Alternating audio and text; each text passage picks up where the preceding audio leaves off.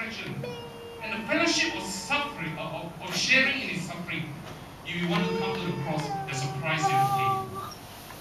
Becoming like Christ in his death, and so somehow to attain the resurrection from the dead. Dead, dead.